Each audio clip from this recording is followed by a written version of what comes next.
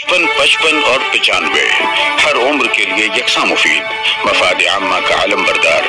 ज़रूर सब्सक्राइब करें, लाइक करें, शेयर करें और बेल आइकन प्रेस करना न भूलें। Rabbani the scholar YouTube channel. मैं चाहूँगा कि यहाँ पर संजू बाबा माइक पर तशरीफ़ लाए और डॉक्टर अकील अहमद फैजी साहब मांडवने सर जो है वो माइक पर तशरीफ़ लाए और डॉक्टर अकील अहमद फैजी साहब के ताल्लुक से आपके जो एहसास हैं, आपके जो तासुरात हैं, वो आप यहाँ पर सामीन के सामने पेश करें। आज के कार्यक्रम के अध्यक्ष आदरणीय अजीत साहब के बड़े भाई और सभी मंच पर उपस्थित आदरणीय और मेरे सामने बैठे हुए आप सभी मेरे माता पिता बहन बंधु सभी को मैं कोटि कोटि प्रणाम करता हूँ। मुझे तो आज एक बात का खुशी भी है, गर्व भी है कि मैंने आदमी को जैसे कि खुदा हो, अल्लाह हो, भगवान हो, गाड हो, ईश्वर हो, कोई भी हो। ये मानव जाति में एक वरदान दिया है कि नेक इंसान बनने की कोशिश है। जो भी इस रास्ते में भगवान ने बनाया है, अल्लाह ने बनाया है, जो नेक बन गया तो नेक आदमी इस दुनिया में कोई भी पुरुषार्थ कर सकता है। उसका एजुकेशन मायने में कुछ भी नहीं होता। है खाली उन्होंने जो बनाया है, हमें एक गाड़ी तो हमारे हाथ में दी दिया भगवान ने उसके ऊपर ड्राइवर बन के हमें चलना है। सही ढंग से गाड़ी चलाया, चलाना है या नहीं चलाना है? गाड़ी सही ढंग से नहीं चलाए तो हम दरिया में भी गिर सकते हैं और हमारी जीवन की गाड़ी सही ढंग से चलाई तो हम ये बेड़ा पार भी कर सकते हैं। ऐसे आदमी मेरे सामने है, डॉक्टर अकील अहमद फैजी साहब। मुझे तो आज एक खुशी है कि 25 साल इन्होंने इस दुनिया में सेवा की है। मुझे तो पता भी नहीं था। मैं उन्हें, उनसे दो साल से जानता हूँ। मैं पतंजलि का बड़ा एक योग शिक्षक हूँ, हरिद्वार से बना हूँ। पहले तो एक चार ज़िले का मैं प्रमुख था। बीच में 2011 में मेरा एक एक्सीडेंट हो गया। एक्सीडेंट की वजह से मेरे रीढ़ की हड्डी में बहुत प्रॉब्लम आ गई। प्रॉब्लम की वजह से मैं योग नहीं कर पाता था। जितना योग करना चाहे, जितना आसन करना चाहे, मुझे सही ढंग से चलना नहीं आता था, सही ढंग से खड़ा नहीं हो जाता तो बहुत जगह पैसा खर्च किया, क्योंकि मेरे पास पैसा है। दुनिया में जितने भी अच्छे अच्छे डॉक्टर्स हैं ना उसके पास गया। एक दिन के बीस हज़ार लेता है, उनके पास भी गया, उनके पास भी फिजियोथेरेपी की। तो नासिक हो, पुणे हो बम्बई हो, सब जगह घूमने के बाद इतना परेशान हो गया कि मुझे एक दो घंटा सोना है तो एक पेन किलर लेना पड़ता था, दो घंटा सोने के लिए। इसका मतलब रात में एक ही गोली ले सकता है आदमी, ज़्यादा से ज़्यादा? तो दिन में एक घंटा सोना है, रात को तो एक गोली लेना पड़ता। बहुत परेशान था। इधर उधर भटक रहा था। तो मुझे यहाँ का एड्रेस, यहीं से कोई हमारे चालीस गाँव में टीचर है और वही संस्था में मेरी मिसेज भी काम करते टीचर का। तो उन्होंने कहा, मैडम जी, एक ऐसे दर्दी है हड्डी के बारे में। आप सब कर लिया है तो उनके पास भी एक बार जाके आओ। तो तुरंत मैंने गाड़ी निकाली। इनके पास आ गए तो भाई, आपको चार दिन आना पड़ेगा। अच्छी बात है। पहले दिन तो मैं बहुत परेशान हो गया। इनका क्लिनिक देखकर ही मैं परेशान हो गया। इतने बड़े बड़े क्लिनिक मैंने देखे वहाँ कुछ मुझे फ़ायदा नहीं हुआ तो यहाँ क्लिनिक में मुझे क्या फ़ायदा हुआ? जब उनके पास गया, पहले दिन, कुछ नहीं, एक आधा मिनट के उसने कुछ मसाज किया मुझे। तो उस दिन मैं बिना गोली चार घंटा सो गया। पहले दिन तुरंत लाभ मुझे मिल गया। दूसरे दिन की मसाज से पूरी रात भर सो गया। तीसरा दिन तो बहुत अच्छा गया, चौथे दिन तो उन्होंने क्या सेटिंग किया, कुछ नहीं किया। मेरे पास बहुत रिपोर्ट है, बहुत एमआरआई है सिटी स्कैन है, कि आज तक के जितने भी डॉक्टर हैं, वो डॉक्टर बोले मुझे कि भाई ऑपरेशन के बिना किसी इस दुनिया में आपको किसी ने चल के दिखाया तो हम डॉक्टर की छोड़ देंगे। क्योंकि आपका एम ऐसा बोलता है, आप कभी भी चल नहीं सकते। लेकिन मैं योग की वजह से चल सकता था, घूम सकता था, लेकिन तकलीफ़ बैन सहन करना पड़ता था। और पाँचवें दिन से मैं, मेरे ख्याल से दो साल हो गए डॉक्टर साहब। मैं खुद आयुर्वेद का बिज़नेस करता हूँ। पतंजलि का बहुत बड़ा बिज़नेस करता हूँ। तो मैं, मुझे जैसा ही फ़ायदा हुआ तो मैंने सोच लिया कि दुनिया में दर्द करने वाले भी बहुत लोग हैं, गरीब भी बहुत लोग हैं। इतना मैं मैंने जितना पैसा खर्च किया, उतना पैसा खर्च कर नहीं सकते। इसीलिए मैं फैजी साहब से विनती की कि मेरे चालीसगांव शहर के लिए आप आइए। तो मैंने कम से कम तीन शिविर लगवाकर हज़ार से ज़्यादा लोगों को उसको फ़ायदा पहुँचा वो तो मेरे, वो मेरे सब पेशेंट थे। एक आदमी का कम से कम चार पाँच हज़ार रुपये महीने का वो खर्च करना पड़ता है आयुर्वेदिक में भी। तो एक हज़ार से ज़्यादा लोग मैंने इनसे तंदुरुस्त करने के बाद मेरे पास से कोई दवा लेगा? नहीं लेगा ना। तो मेरे धंधे में मैंने ही कुराड़ मार ली। लेकिन मुझे बहुत आनंद हुआ कि वो हज़ार लोग आज तंदुरुस्त है। उनकी वजह से दो चार हज़ार लोग यहाँ आकर तंदुरुस्त बने। और मुझे खुदा के काम करने का बहुत नेक मौका मिला। आज मुझे इस बात का भी गौरव होता है। खूब अच्छा लगता है कि मैं जिस पहले आया या कुछ कुरान की जो पंक्ति है वो सुनी। मुझे कितना समझ में आया वो बात छोड़ दीजिए। लेकिन आज मुझे कुरान भी सुनने को मिल गया। तो मैं खूब खूब नसीब हूँ। कि दुनिया में भगवान की बातें सुनने के लिए हमारे नसीब में भी कुछ होना चाहिए। जब तक हमारे नसीब में ऐसी बातें सुनने के लिए कुछ मौका ना मिले, भगवान का आशीर्वाद न हो, अल्लाह का आशीर्वाद न हो, खुदा का आशीर्वाद हो, वहाँ तक हम नहीं पहुँच सकते। मैं चालीस गाँव से ये सुनने के लिए यहाँ तक पहुँच गया, इसीलिए भगवान का मुझे बहुत आशीर्वाद है, दुआ है, ऐसा मैं चाहता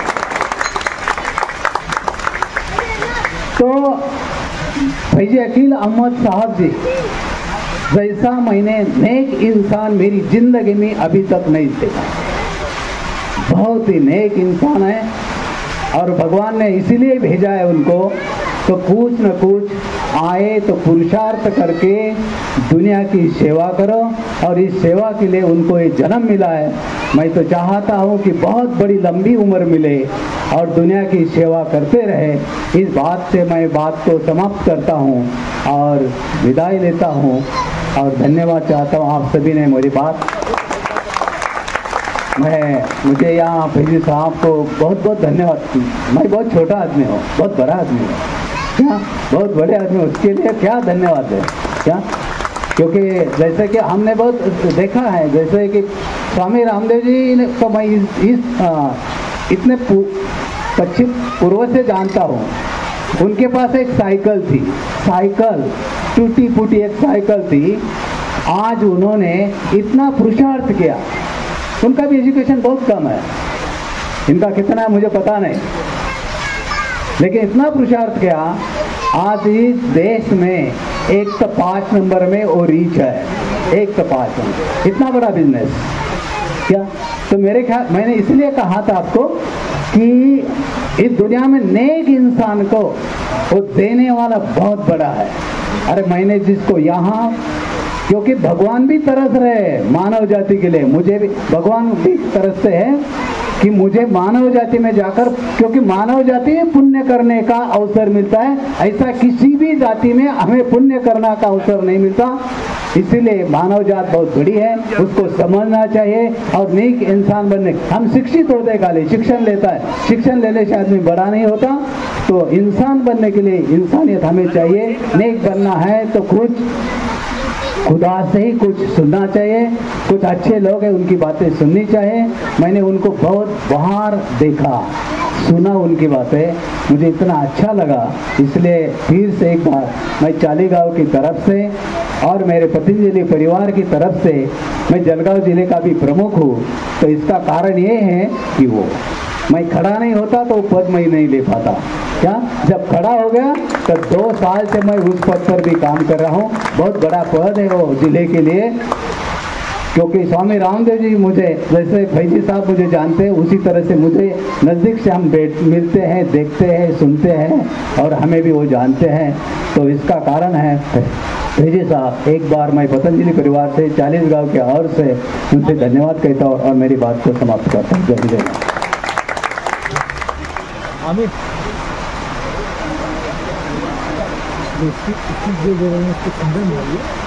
मोहम्मद इदरीस साहब जो है, वो अभी अभी तशरीफ़ लाए हुए हैं और वो डॉक्टर अकील फैजी साहब का इस्तेकबाल करना चाहते हैं। मैं गुजारिश करता हूँ कि अजरा करम स्टेज पर तशरीफ़ ले आए। श्री नारायण माणवने सर ने इंतहाई मुफस्सल अंदाज में बड़ी तफसील के साथ अपने तमाम तजुर्बात को यहाँ पर बयान किया। और जिस तरह से डॉक्टर अकील फैजी साहब के दस्त मुबारक से आपको शिफा मिली और आप खड़े हुए और 40 गाँव में आपने उन्हें मधु करके जिस तरह से कैंप का इनका किया और जहाँ ऐसे इंसान कम मिलते हैं इस ज़िंदगी में कि जब अपना फ़ायदा हो जाए तो वो दूसरों का भी फ़ायदा सोचते हैं। और श्री मांडवने सर ने वही काम किया कि जब उन्हें महसूस हुआ कि डॉक्टर अकील फैजी साहब के पास से इलाज करवा के मुझे काफ़ी अच्छा महसूस हो रहा है तो आपने एक बड़ा प्रोग्राम, एक बड़ा मेडिकल कैंप जो है वो 40 गाँव में मुनकिद करवाया और डॉक्टर अकील फैजी साहब को वहाँ पर मधु करके नाजिम साहब और डॉक्टर अकील फैजी साहब और उनके सारे मुआविदीन ने दिन भर में तकरीबन हज़ार से ज़्यादा पेशेंट को जो है वो चेक किया और उनका इलाज करने की पूरी पूरी कोशिश की। शायर ऐसे ही शख्सियात के लिए कहता है कि हमारे नाम से क्षमा जलाओ महफिल में। हमारे नाम से क्षमा जलाओ महफिल में हमारा नाम जमानत है रोशनी के लिए। हमारे नाम से क्षमा जलाओ महफिल में, हमारा नाम जमानत है रोशनी के लिए, हमारे बाद अंधेरा रहेगा महफिल में, बहुत चिराग जलाओगे रोशनी के लिए। तो ये रोशनी फैलाने वाली शख्सियात हैं, जिन्हें अपने आप में जब फ़ायदा महसूस होता है तो वो दिगर हजरात का भी फ़ायदा सोचते हैं। आइए, हम इस मौके पर डॉक्टर वहीदुल्ला फारूकी साहब, जो कि नायब प्रिंसिपल के अहदे पर रहते हुए सुबुकदोश हुए हैं, आज हमारे स्टेज पर जल्लो अफरोज हो रहे हैं। मैं आपका इस्तेकबाल करता हूँ, खुश कहता हूँ, और उनके साथ साथ डॉक्टर शारिक अहमद साहब भी यहाँ पर तशरीफ़ लाए। मैं चाहूँगा कि सुहेल अहमद साहब जो है, वो डॉक्टर वहीदुल्ला फारूकी साहब की खिदमत में शाल और गुल देकर उनका इस्तेकबाल करें। यकीनन अपनी मसरूफियात को बालाए ताक रखते हुए डॉक्टर अकील अहमद फैजी साहब की मोहब्बत में यहाँ पर मुआज़ मेहमानान जोक दर जोक तशरीफ़ ला रहे हैं। और भी मुझे नाजिम भाई के ज़रिए से मालूम हुआ कि कुछ हमारे मुआज़ मेहमानान रास्ते में हैं, वो भी अनकरीब यहाँ पर तशरीफ़ ला रहे हैं। सोहेल अहमद साहब जो है वो वहीदुल्ला फारसी साहब की खिदमत में शाल और गुल का नजाना पेश करके उनका इस्तेमाल कर रहे हैं।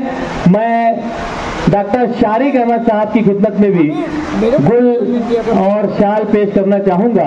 मैं जहीर अब्बास से गुजारिश करता हूँ कि आप अपने हाथों से डॉक्टर शारिक अहमद साहब की हौसला अफजाई करें, उनका इस्तेबाल करें कि यकीनन ये भी अपने दवाखानों को छोड़कर यहाँ पर आज तशरीफ़ लाए।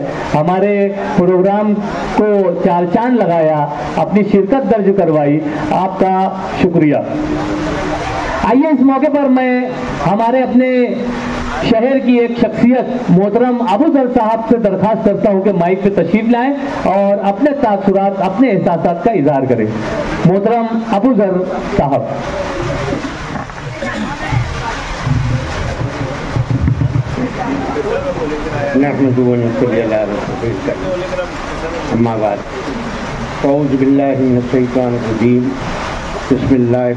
बसमीम चीते का जिगर चाहिए। चीते का जिगर चाहिए शाही का तजस्स चीते का जिगर चाहिए शाही का तजस्स दुनिया नहीं मर्दान जफा कश के लिए तब आज़ाद बड़ी खुशी है कि मैं एक ऐसी शख्सियत के लिए कुछ लबकुशाई कर रहा हूँ, जो मेरी अपनी मैंने जब से इस मोहल्ले में आया हूँ, जब से देख रहा हूँ कि ये सिर्फ़ खिदमत कर रहे हैं, उन लोगों की जो अपनी सेहत से बेदार हो, आ चुके हैं। जैसा कि अभी एक, मैं तो मरीज़ ही कहूँगा अकील साहब के मरीज़ साहब ने जो गुजरात पेश की, बड़े खुशी हुई कि चैलेंजिंग काम उन्होंने किया। आप यकीन जानिए, तंदुरुस्ती हज़ार नेमत है। इस नेमत के तहफ़ और बका के लिए इलाज और मुआवजा की ज़रूरत पड़ती है। आज मेडिकल लाइन में एडमिशन पाना जो है स्वीर का लाना है। गरीब, घराना तो सोच भी नहीं सकता कि मैं डॉक्टर बनूँगा। बड़ी मुश्किल बात है। मगर अकील साहब ने जो अमली ज़िंदगी में जो कदम रख के जो पैरामेडिकल शोबे का जो आ, उन्होंने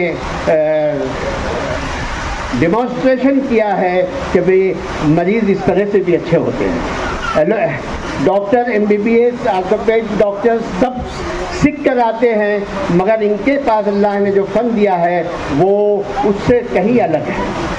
ये सब डॉक्टर सब लोग जा, सब जानते हैं कि नसें कहाँ हैं हड्डियाँ कितनी है मगर उसका सेटिंग किस तरह से करना डॉक्टर अकील साहब से सीखिए। अकील फैज़ी सारी ज़िंदगी अपनी खदमात देते रहे और बहुत लोगों ने ये कहा कि भाई बहुत ढेर पैसा लेते होंगे बहुत ज़्यादा पैसा लेते होंगे मगर जब वो बोलते हैं कि जाइए अभी इलाज कीजिए। तीन दिन के बाद इलाज जब मुकम्मल कर लेते हैं तो मामूली सी रकम जो तो के ख़िलाफ़ होती है, मामूली की रकम देकर वो खुशहाल ज़िंदगी गुजारने के लिए रवा दवा हो जाता है। आज बड़ी खुशी की बात है कि डॉक्टर अकील का तारुफ एक अलग अंदाज से हुआ। एक चैलेंजिंग डॉक्टर की हैसियत से उनका उनका तारुफ हुआ, ये हमारे लिए बात है। खुशी का मामला। उनके ताल्लुक से जितनी बातें कहे, कही जाए, वो कम है।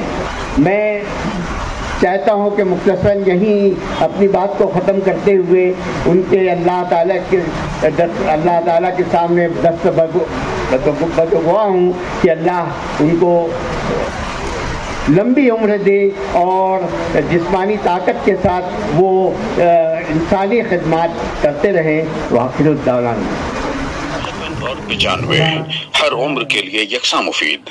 मफाद आमा का आलम बरदार। ज़रूर सब्सक्राइब करें, लाइक करें, शेयर करें और बेल आइकन प्रेस करना न भूलें। Rabbani the scholar YouTube channel. Rabbani the scholar YouTube channel इल्मी, अदबी, दीनी मिली समाजी, सकाफती, तहजीबी, फलाही, तिब्बी, फन्नी, माशी, तजारती, माशरती, इंतजामी, इनकलाबी, तहरीकी, तहकीकी, तकनीकी, तफ्तीशी, तामीरी, तालीमी व मालूमती यूट्यूब चैनल ज़रूर सब्सक्राइब करें लाइक करें शेयर करें और बेल आइकॉन प्रेस करें Rabbani the scholar YouTube channel